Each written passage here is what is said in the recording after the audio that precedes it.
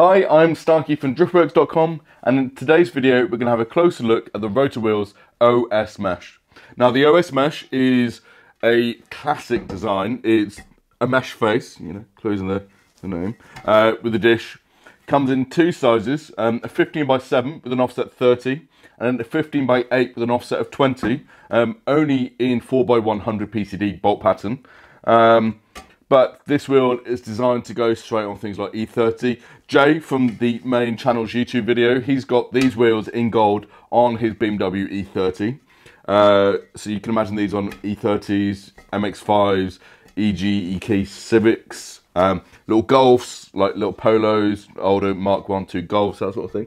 Real classic design, very similar to like the SSR Mesh, which we also sell in the shop. Yes, we sell, we sell, you know, three-piece versions of this wheel, but a set of these is almost the same price as a single one of those custom wheels. So if you like the look, but you're working on a budget, then get this wheel. It's light, it's strong, you know, it's, it's good.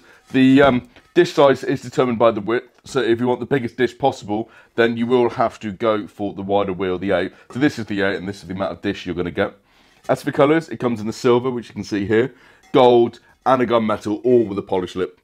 So there we go. This has been a closer look at the Rota wheels OS Mesh. If you have any question on this wheel or any of the other Rota wheels, drop us a message below or send an email to shop at driftworks.com and we will happily answer any questions. And all and as always, if you want a Rota wheel but you don't like this design, check out the website, use the filters. You can see the entire selection of Rota wheels there.